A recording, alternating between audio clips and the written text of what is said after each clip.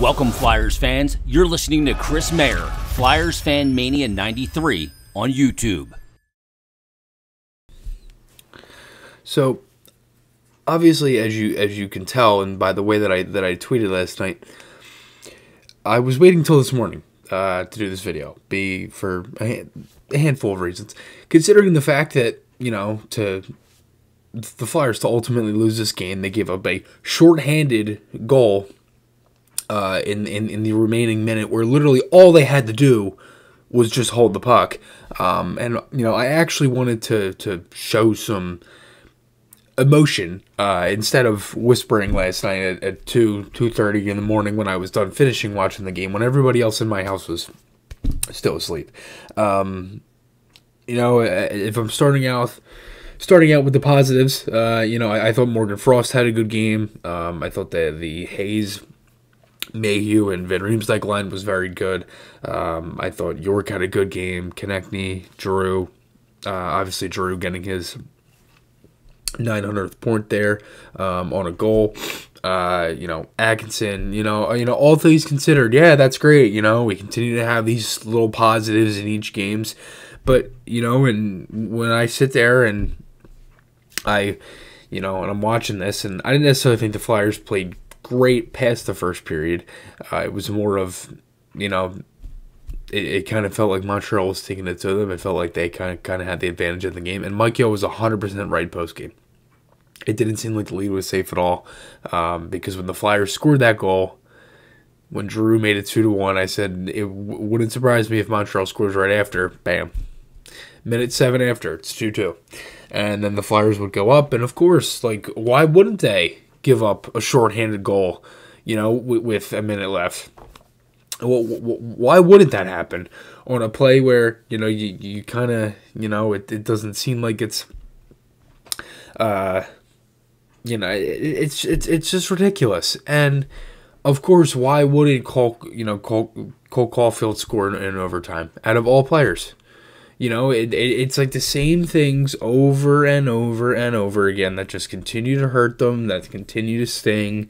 And you know, I, we've been sitting here and we've been you know, for, for me personally, I've been sitting here trying to figure out each little positive in each game, which obviously you have to do that, but like it is so unbelievably frustrating when you not even give up a, a goal like that but everybody likes to pick on Ristolainen on that play. And I tweeted this out. And somebody put a, a, a video gif of the play and mentions how Ristolainen was dove out of the play. Ristolainen is the only guy on this play that actually touched the puck. Sanheim is the one that completely overreacts, and for some reason, I don't know why he did it, but went straight to the Canadiens forward, and every other flyer.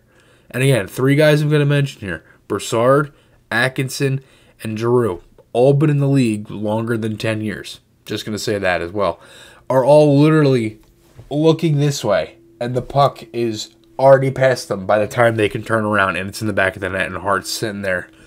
Like, it, it, it's been like this for two seasons already where nobody knows what to do in the defensive zone. And it felt like around the 12 minute mark of the third, every time Montreal got into that zone, every flyer was looking at the puck. And it's not it hasn't been the first time this year. It's continued literally all season. Where if the puck's in one area, everybody's looking this way, or if it goes back that way. Like they, they just follow it. And nobody has a single assignment.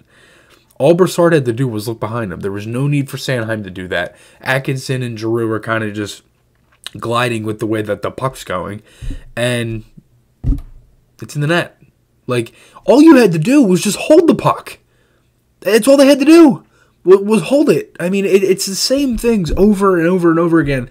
If you remember the Chicago game, they had a power play. What did they do? They held it for I don't know 40 seconds, and then Chicago had maybe one chance with 20 seconds left. That's all they had to do.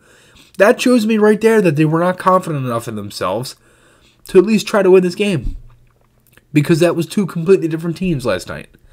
You know, I, talk about the Chicago game because that was one of their best games of the year, and I talk about last night because last night is a game where it they are so fragile. It's not even funny. I mean, they are. It's unbelievable how soft this team is.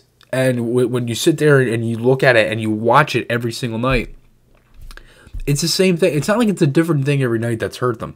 The last two seasons, it's literally been the exact same things that have hurt them over and over and over again. I swear to God, you could go back in every video that I have made in the past two years, and you probably could clip that, and it could probably be closer to a five, six minute video where I say over and over and over again, because it's it's it's literally the same thing every time.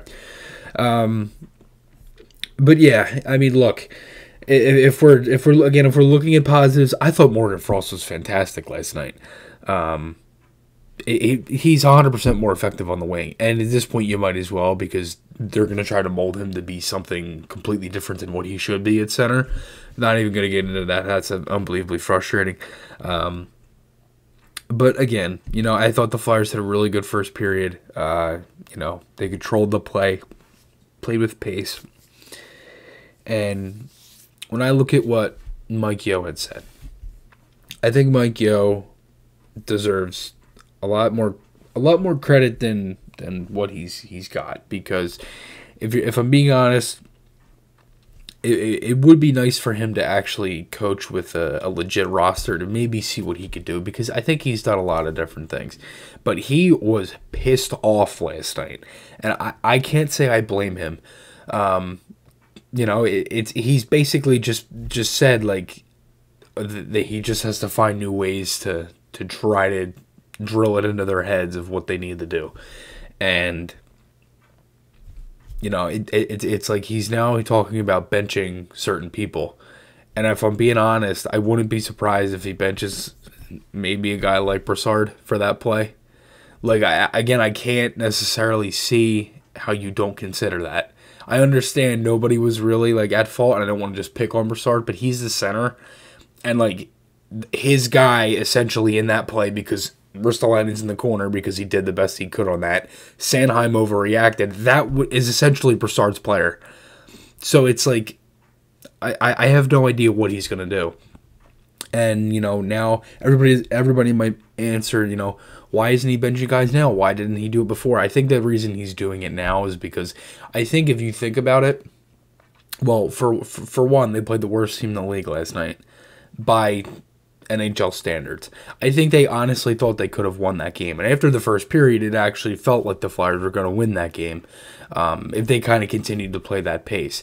Had a brutal second period, and, you know, it, it, it's things like that where they think that they can win these games and they talk about it. And if when they're not able to and they give up a shorthanded goal in the last minute, uh, again, they, as when they were on the power play, um, you know, it, it's things like that that can drive a coach crazy, and I I can't say I blame him at all because again, he's coaching for a job next season. Certain players are playing for a contract next year. They want to be able to win games, and you know when when Mike Yeo only has ten wins since taking over um, as Flyers head coach, that's that that doesn't necessarily look great for him.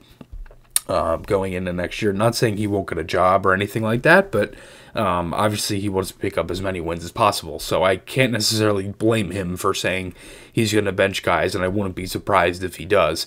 Um, but then again, on, on which he mentioned post game, he doesn't even know if they have enough guys to call up. So that's the other thing as well is he might not even be able to by default because everything that's going on with the Lehigh Valley this year. Um, but yeah, th- th- that's kind of the year it's been. It's been the fact that you have an AHL team that you don't even like. You're literally your NHL head coach doesn't even know if you can call up guys because that's how bad of a year it's been. So, I'll leave you with that. Um, remember, SeatGeek, Garrett Construction, you can check those out. Link in the description below. Um, and uh, yeah, it's just they, they keep finding um, more ways to to piss everybody off. That's that's kind of how I've been looking at this at this Flyer season because it's been the same continuous mistakes, and it, they rip your heart out. That, that's all I'm gonna say. So uh, thank you guys for watching, and uh, I'll talk to you all again soon.